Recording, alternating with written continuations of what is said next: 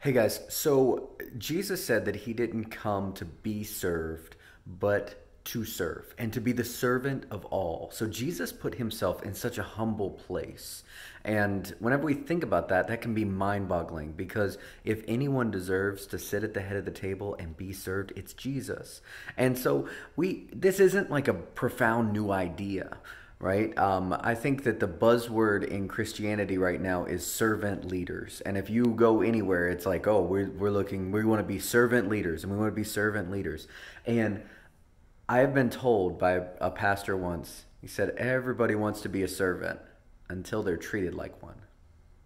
And I want you to take that. And I mean, I, I, I swear, I'll, I will remember that for the rest of my life. Everyone wants to be a servant until they're treated like one. And Jesus is our example because Jesus was a servant and he came and he served and he served and he served and he was treated like a servant, right? And he went and he carried a burden that he never should have had to because it wasn't his to carry. Like I said, if anyone deserves to sit at the head of the table, it's Jesus.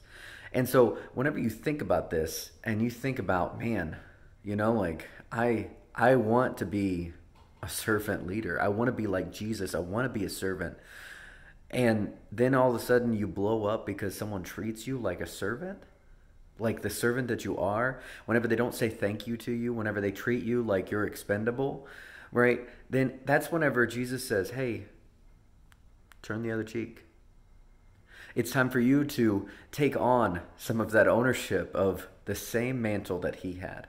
Whenever we are here on earth, we are meant to live as Christ, which means that we need to become the servant of all. And then Jesus says that the first will be last and the last will be first. If you want to be the greatest of all, be the biggest servant. So, how great are you? Well, that's going to tell me, uh, it tells me that if I'm thinking about it, I got to think, okay, how often do I get offended whenever someone treats me poorly? how often am I doing stuff for other people or doing things to sort, sort my, you know, for my own needs and for my own stuff? How many times do I do stuff that I don't want to do? So, that being said, guys, how great are you? And how do you react whenever you are treated like a servant? Thanks for taking a minute.